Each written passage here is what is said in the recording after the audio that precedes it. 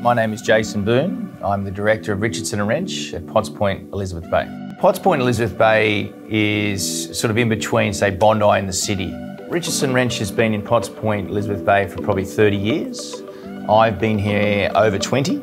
It's been an area where a lot of people have come in with money, bought a platform, and actually done a lot of renovation. And you've seen the change happen over the last 10 years. For me, marketing was walking streets, dropping letterboxes, um, standing out the front of buildings with keys, pretending I had a, a listing and talking to all the uh, owners coming out in the morning.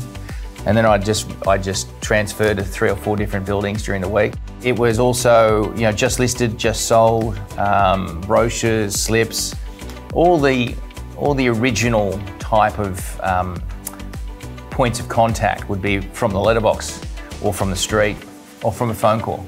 I've seen such a change in marketing.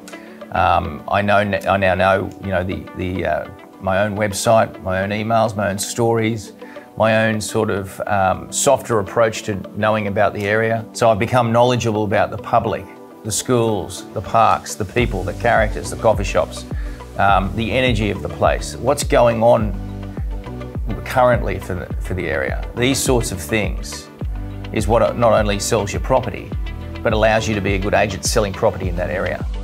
I wanted to build a new website because I wanted to connect in a different way with the public.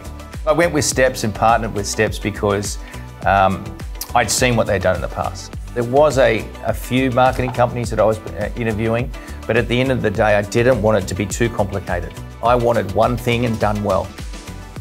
What Stepps has brought to me is I'm stopped regularly by clients and they suggest articles that I can write, or they comment on what's just been written, or they say that line about the so and so, I'm so glad you wrote about that cake lady.